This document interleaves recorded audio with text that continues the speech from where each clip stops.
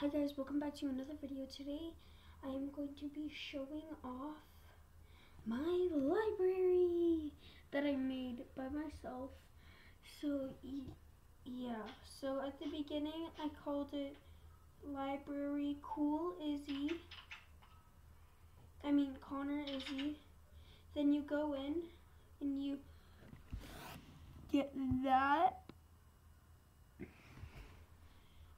and then I for like decoration over the cap over the library books I put doors so it looks cool and that's on the other side too so don't worry about that.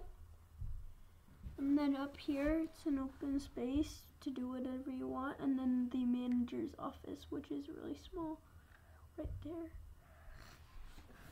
So yeah and then in the next video, I will show you the pyramid that I made. And then you go into the back, since I didn't really want to do anything, I just put chess. And then I put the, um, this. And you open it up, and that's all I put.